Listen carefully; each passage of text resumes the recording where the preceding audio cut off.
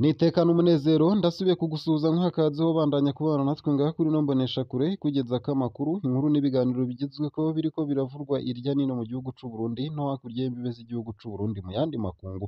Ntunyemerere nkuhe ikaze ndaguhaye mwaramutse neza cange mwiriwe neza bivanye n'aho udukurikira uherereye. Wowe udukurikira uri mu gihugu c'u Burundi ndaguhaye mwaramutse neza ndetse nawe udukurikira uri hakurya y'imbibe z'igihugu c'u Burundi mu bihugu bibanyi nk'igihugu c'u Rwanda igihugu ca Repubulika Iharanira Rusange ya Kongo igihugu ca Uganda igihugu ca Tanzania n'igihugu ca Kenya ndabakengurukiye cane mwese ngaha kuri ino mboneshakure ndabahaye kaze. Turi ku munsi wa gatandatu w'igenekerezo ry'icumi na gatanu z'ukwezi kw'indwi umwaka ni ibihumbi bibiri na mirongo ibiri na gatatu. Utegerezwa gusa gufyonda sabone cange subscribe. Nawe utarafyondako kugira uje urashikirwa n'amakuru yose ibiganiro n'inkuru tubandanya kurungika binyuriye ngaha kuri ino mboneshakure ibigutohoreza hama ikabigushikiriza mu buryo butosoye kandi butomoye kamwe ku kandi. Mu kwezi kumwe imyaka ibiri izoba irangiye Thierry Ndayishimiye yabuzwe irengero. Abiwe bamuheruka igenekerezo ry'icenda myandagaro bibiri na mirongo ibiri na rimwe agiye kugura amayinite y'umuyagankuba muri Regideso mu gisagara ca Bujumbura. Narakugeza ko iyo nkuru itari nziza ku buryo buramvuye ntunyemerere nkugeze ko n'iyi nkuru ivuga ku vya Bunyoni. Aho bivugwa ko gutomora ivyaha vya Alain Guillaume Bunyoni biri kure nk'ukwezi. Sentare Ntahinyuzwa y'u Burundi yatangaje kuri uwu wa kane ko umushikirizamanza kizigenza wa Repubulika abandanya arondera kugira ngo aronke ibirego bishasha mu rubanza rwa Bunyoni. Umuvugizi wa Sentare Ntahinyuzwa n'ibiro vy'umushikirizamanza kizigenza wa Repubulika yatangaje ko umushikirizamanza wa Repubulika afise amakuru mashasha ashobora kuganisha ku vyaha bishasha muri dosiye y'uwahoze ari umushikiranganji wa mbere Alain Guillaume Bunyoni. Mu kiganiro c'abavugizi b'inzego za leta ni ho umuvugizi w'umushikirizamanza kizigenza wa Repubulika yabitangarije. Yariko yishura ku kibazo c'umumenyeshamakuru. Ubwa mbere yakurikiranwa ku caha co guhungabanya umutekano w'igihugu guhungabanya ubutunzi bw'igihugu no kugerageza gukoresha ubutegetsi ku nyungu ziwe hakaba hiyongerako kandi. Gutunga ibirwanisho atabifitiye uburenganzira no gutuka umukuru w'igihugu uko akaba ariko vyamenyeshejwe na Agnes Bangirinshenge yavuze ko umushikirizamanza wa Repubulika yunguruje urubanza inyuma y'aho uwumuburanira agombeye kwanka ko aguma apfunzwe vy'agateganyo umushikirizamanza wa Repubulika yararonse amakuru mashasha ashobora gutuma haboneka ivyagirije ibishasha uko akaba ariko uwo mukenyezi yashimangiye. Umwe mu bari baremesheje ikiganiro yarashatse kuronka umuco ku bijanye no gutunga ibigwanisho bidaciye mu mategeko mu gihe Bunyoni ari umujenerali mu gipolisi. Ni wewe ubibona kandi ubivuze uko. Iyo tuvuze gutunga ibigwanisho bitemewe n'amategeko ni uko twatoye iwe ibindi bigwanisho vyiyongera ku vyo yemerewe gutunga. Uko akaba ariko uwo mukenyezi yishuranye agashavu. Mu ntango za Rusama uwo mwaka Alain Guillaume Bunyoni yungururijwe mw'ibohero rikuru rya Ngozi mu burengero bw'u Burundi. Inyuma yo kumara iminsi myinshi ari mu gasho k'igendereza mu gisagara c'ubudandaji Bujumbura. Ishirahamwe Human Rights Watch ryategetse abategetsi b'u Burundi ko hoba urubanza rudahengamye kandi imbere y'indorerezi mvamakungu kugira ngo uburenganzira bwa Bunyoni bwubahirizwe. Alain Guillaume Bunyoni yahoze ari umuroberi akaba ari mu bihano vya Amerika. Yabogojwe mu mabanga yiwe n'umukuru w'igihugu Evariste Ndayishimiye mu ntango za Mukakaro bibiri na mirongo ibiri na kabiri mu buryo burimwo igipfungu. Na yo na yo mbandanije na ya nkuru nari nkugejeje ko mu ntango z'ano makuru nuko mu kwezi kumwe imyaka ibiri izoba irangiye neza neza Thierry Ndayishimiye habuzwe irengero. Abiwe bakaba bamuheruka igenekerezo ry'icenda myandagaro bibiri na mirongo ibiri na rimwe hagiye kugura amayinite y'umuyagankuba muri Regideso mu gisagara ca Bujumbura. Abanyuma bemeza ko bamubonye abanyuma bemeza ko bamubonye hari mu gihe c'isaha zitanu z'imbere y'umutaga. Inyuma yaho nta kayambu kiwe abiwe basubiriye kuronka. Abagiye gukurikirana ivya telefone ya Thierry Ndayishimiye basanze kuva isaha indwi n'iminota icumi n'indwi. Z'umunsi afatwa gushika bukeye isaha zibiri n'iminota mirongo itanu n'itandatu telefone yitabira mu bice vya Katedrale Regina Mundi i Bujumbura.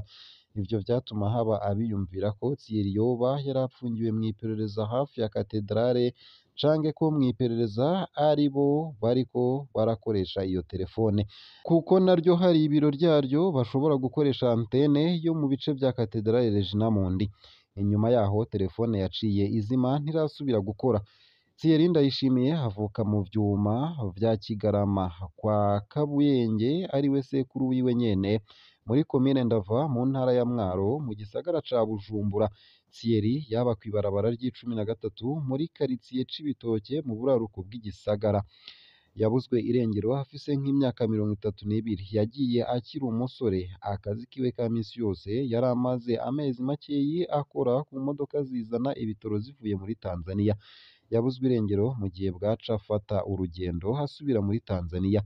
Igihe aburwa irengero hari haciye ukwezi hanyurujwe uwundi yitwa Amuri Kwizera batazira Babu. Nawe yakora mu vyo kuzana amamodoka mu Burundi ayakura muri Tanzania nyene. Ntawuzi ko inyuruzwa rya Thierry n'irya Amuri bifitaniye isano. Turabandanya kubaza ko hari aboba bafise amakuru kw'inyuruzwa rya Thierry Ndayishimiye. Uwomenya ivyashikiye Thierry Ndayishimiye yotwandikira muri ndondeza kuri WhatsApp akamenyetso ko guteranya gatatu kabiri kane gatandatu gatanu gatandatu gatanu rimwe icenda ubusa gatanu. Murakoze. Na yo mu makuru ariko aravurwa hanze y'imbibe z'igihugu c'u Burundi ku bijanye n'intambara iriko ibera mu buseruko bwa Repubulika Iharanira Rusange ya Kongo ni uko Uhuru Kenyatta harigoma mu biganiro vy'imbere y'ukwegeranywa kw'abagwanyi ba M23 Uhuru Kenyatta umuhuza mu muryango wa Afurika y'ubuseruko hari mu buseruko bwa Repubulika Iharanira Rusange ya Kongo kuva kuri uwu wa gatatu. Yitavye ibiganiro ku bijanye no kwegeranywa vy'ibanze ry'abagwanyi ba M23 yururutse indege yamenyesheje ko yizeye ko ingingo zizozana amahoro arama mu gihugu cose zizofatwa. Ku kibuga c'Igoma mu ntara ya Nord Kivu Kenyatta yakiriwe n'umushikiranganji wa leta ya Kongo hajejwe iyinjira mu karere Antipambusa Nyamwisi n'abandi bategetsi nk'umusirikare arongoye Nord Kivu ku bw'amasoko yacu uwo yahoze ari umukuru w'igihugu ca Kenya. Akaba n'umuhuza wa EAC hari muri Repubulika Iharanira Rusange ya Kongo kugira ngo havuganwe ko ku kibazo co kwegeranya vy'ibanze M23 ico kibazo caranavuzwe kandi mu biganiro vya mbere yabayemwo uwo muhuza. Ako akaba ariko amakuru twaronse avuga muri iyo nama kazoba ari akaryo kandi ko kuraba uburyo bushoboka mu ntumbero yo gushiraho icizere hagati y'ingabo za EAC ziri muri Repubulika Iharanira Rusange ya Kongo n'abanyagihugu ku bw'amasoko yegereye umuhuza n'abategetsi ba Kongo. Uhuru Kenyatta yemereye abamenyesha amakuru ko ashigikiye abanyagihugu bo mu buseruko bwa Repubulika Iharanira Rusange ya Kongo. Akavuga ko umuryango w'akarere uriko uragerageza gutorera umuti urama ikibazo c'umutekano muke. Ndahojeje abanyagihugu bo muri Nord Kivu bakozweko n'ibikorwa bibi vy'imirwi y'abagwanyi iri muri ico gice ca Repubulika Iharanira Rusange ya Kongo ingingo ziriko zirafatwa n'ibihugu bigize umuryango wa EAC zitegerezwa. Ingingo ziriko zirafatwa n'ibihugu bigize umuryango wa EAC zitegerezwa gushirwa mu ngiro mu maguru masha. Uko akaba ariko yashikirije. Kenyatta akabona ko hatari ubuserukizi bwa Repubulika Iharanira Rusange ya Kongo bukeneye amahoro gusa. Ariko Repubulika Iharanira Rusange ya Kongo yose yibukije ati ngico mbere icatumye haba ibiganiro i Rwanda n'i Nairobi mu ntumbero imwe rudende yo kugarukana ituze muri ico gihugu. Ingabo za EAC zarungitswe ngaha zihagaze neza kandi twizeye ko tuzoshika ku kintu ciza. Ku bijanye n'iyegeranywa ry'ibanze ry'abagwanyi ba M23 ibiganiro birabandanya kandi umuti uzotorwa uko akaba ariko yahumurije. Ikambi y'ibanze yo kwegeranirizwamwo abo bagwanyi ya Rumangabo yarasanuwe yose ikaba ishobora kwakira abangana amajana abiri na mirongo itanu mu kurindira intambwe y'ukwegeranya. Abo basirikare itegekanijwe kubera mu micungararo ya Kindu mu ntara ya Maniema.